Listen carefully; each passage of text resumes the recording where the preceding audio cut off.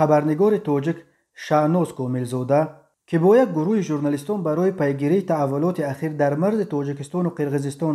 дар исфара қарор дорад бо нашри чанд видеои кӯтоҳ дар фейсбук хабар дод ки як гурӯҳи ризокорон дар исфара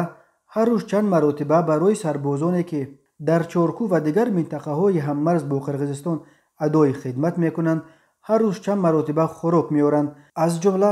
шом аз исфара барои сарбозони рӯзадор ифтор низ ташкил мекарданд. Ҳамин тавр сокинони исфара барои харидани хӯрок барои сарбозону захмиён ва он сокиноне ки аз минтақаҳои доғ